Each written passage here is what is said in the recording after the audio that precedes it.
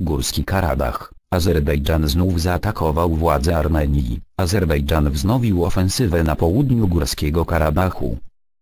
Azerbejdżan wznowił działania ofensywne na południu Górskiego Karabachu, poinformowało Ministerstwo Obrony Armenii.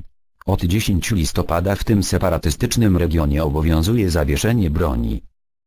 Według komunikatu Ministerstwa Obrony Armenii, który cytuje w sobotę ormiańska redakcja Radia Wolna Europa Radio Azatutyun, siły azerbejdżańskie zaatakowały w rejonie miejscowości Intaglarich Cabert w południowej części Górskiego Karabachu. Siły obronne podejmują odpowiednie działania, przekazał resort. Radio Azatutyun relacjonuje, że wcześniej siły obronne Górskiego Karabachu poinformowały o próbie zaatakowania jednej z pozycji sił ormiańskich na południu regionu.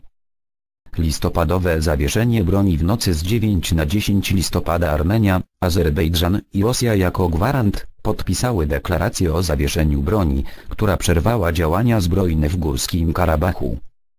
Ten separatystyczny region to ormiańska enklawa, znajdująca się de na terytorium Azerbejdżanu. Region ten oraz kilka przylegających do niego rejonów również na terytorium Azerbejdżanu, od wojny w latach 90. ubiegłego wieku kontrolowali Ormianie. We wrześniu Azerbejdżan podjął próbę odzyskania kontroli nad regionem. Po sześciu tygodniach walk, w trakcie których Baku uzyskało znaczną przewagę i zdobycze terytorialne, przy wsparciu Turcji, w nocy z 9 na 10 listopada podpisano trójstronne porozumienie pokojowe. Na jego mocy doszło do zawieszenia ognia, a do regionu wprowadzono rosyjskie siły pokojowe, które mają tam pozostać przez co najmniej 5 lat. Armenia zobowiązała się do przekazania Azerbejdżanowi zajętych terenów w Górskim Karabachu oraz trzech rejonów przylegających do niego. Łączącą Armenię ze stolicą separatystycznego regionu Stepanakertem drogę, określaną jako korytarz laczyński, mają ochraniać rosyjskie wojska.